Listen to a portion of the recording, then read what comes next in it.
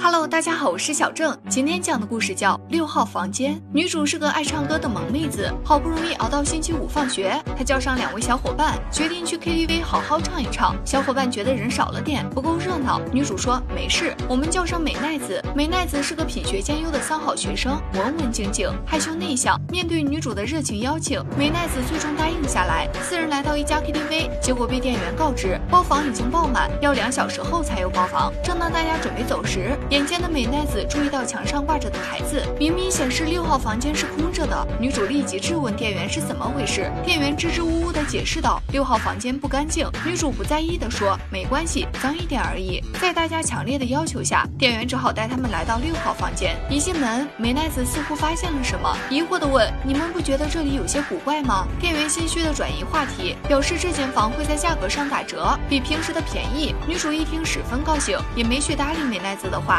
店员走后，大家躁动起来。瓜子脸拿起麦克风唱个不停。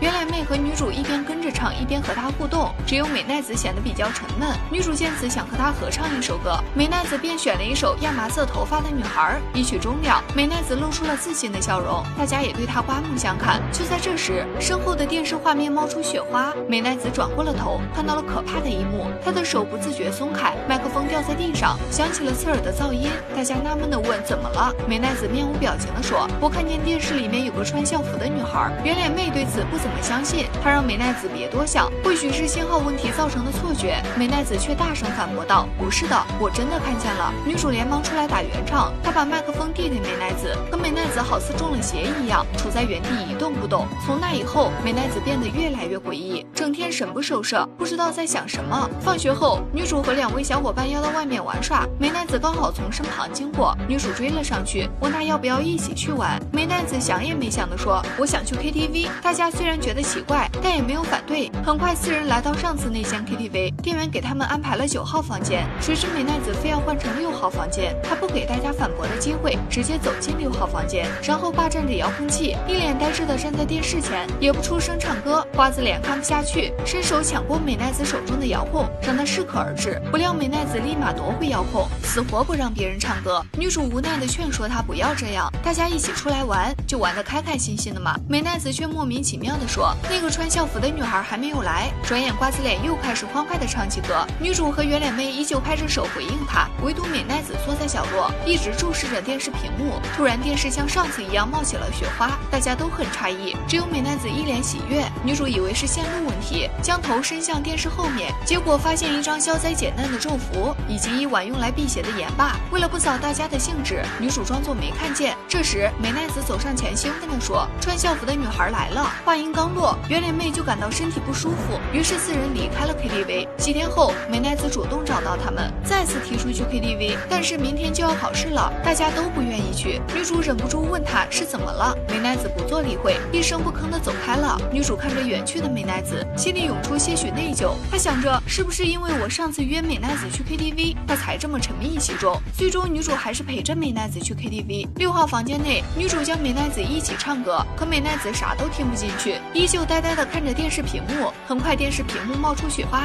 穿校服的女孩真的出现了。美奈子见此露出久违的笑容。女主察觉到不对劲，转头一看，被吓到当下一颤，她赶紧拉上美奈子，想要逃离这里。未曾想，美奈子不打算走，一副被穿校服的女孩迷了魂的表情。女主快要急死了，她使劲拽着美奈子，可就是拽不动她。女主回头看了一眼电视，发现电视已经恢复正常。再一回头，只见穿。校服的女孩从电视屏幕中蹦出来，坐在美奈子身边。女主吓得瘫倒在地，眼睁睁看着穿校服的女孩握住美奈子的手，一步一步走向电视屏幕。危急关头，女主冲上前阻止穿校服的女孩，用尽全身力气将美奈子拖出了六号房间。经此一事，美奈子渐渐好转起来，只是关于穿校服的女孩的记忆，她完全不记得了。故事到此结束，我们下期见，拜拜。